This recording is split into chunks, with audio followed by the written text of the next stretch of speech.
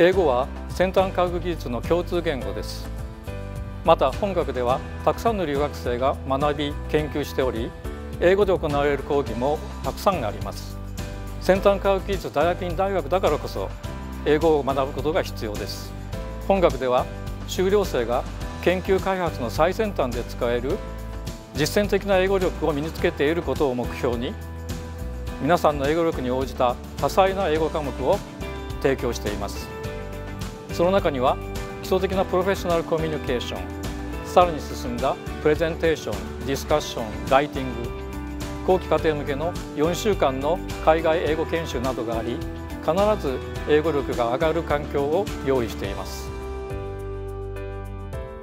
The professional communication courses aim to build confidence and proficiency in English for future careers in science and technology. They focus on building practical communication skills by incorporating interactive small group tasks and online activities. The courses also build language relevant to situations in science and technology, such as for conferences, business travel, online meetings, and technology and IT. 音楽の英語の授業は 先生方の英語の発音が非常に流暢であり徐々に耳が慣れるため留学生との会話も聞き取れるようになります。また留学生と話す機会も多く英語で何かを伝えるということになれるため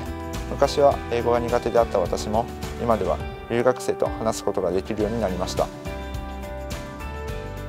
So, to do research successfully, English is essential. For example, many NAIST students will want to present their research uh, at international conferences, which are usually in English, and also at those conferences discuss their research, also with international collaborators.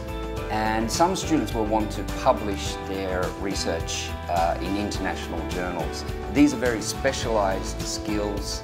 and at NAIST we have subjects to support those activities and develop those skills. And in this way we can help students become more active and more effective members of their international scientific communities. From academic research writing and academic discussion, I got to learn to differentiate between daily English and academic English this is important for me because I need to do presentations and academic writing from time to time. Thus, these courses taught me on how to be professional in both aspects. Furthermore, both courses also covered on presentation skills, which helps me in terms of being familiar to speaking in public and handling questions from the audience.